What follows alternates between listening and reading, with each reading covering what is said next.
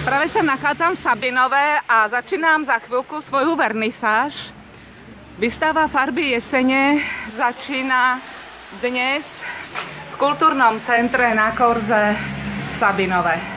Za chvíľku začína vernisáž, volám sa Janka Bakičová, pomáham ľuďom kreatívne tvoriť, objavovať svet farieb a prostredníctvom nich si zlepšovať svoje zdravie, emócie a každodenný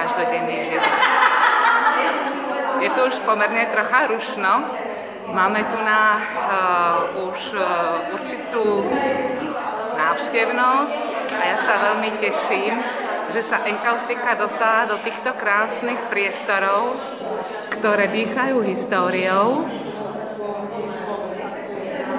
Tak vám urobím ešte takú malú prechádzku týmto priestorom.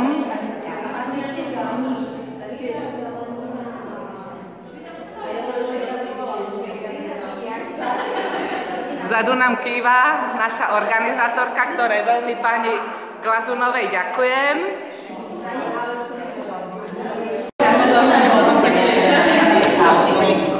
Reni